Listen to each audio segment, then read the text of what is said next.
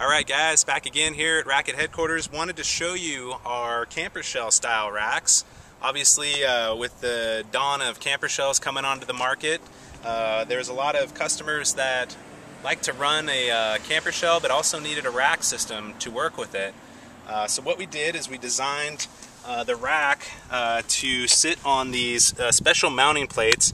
What that allows is for the leg to be offset and come out from um, the side of the vehicle so you can slip your camper shell in from the back. Typically the camper shell is going to sit right here on the uh, on the bed rail that goes all the way down so you have a continuous mounting surface down the bed rail and it helps seal that camper shell as well so there's not a gap um, in between the bed and the shell.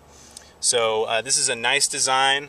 Uh, we're very popular with all the uh, different shell manufacturers. We work in conjunction with uh, all the major types, uh, Snugtop, Leer, ARE, um, and uh, obviously it gets the glossy enamel finish on comes stock on all of our racks. You have the removable rear bar as well that comes stock on each vehicle.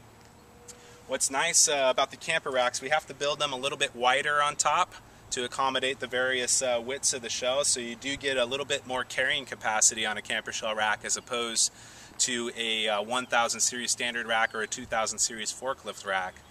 Now we have had requests over the years for uh, to build a forklift loadable camper shell style rack but uh, the one problem you get into there is because on a forklift loadable rack the side has to drop down we would have to build these legs very tall to achieve that and it's just not structurally sound at that point with a uh, really tall leg going up over the camper shell and still being able to drop down to come in from the side with the forklift. So we stayed away from that design. These are available uh, readily from all of our dealers.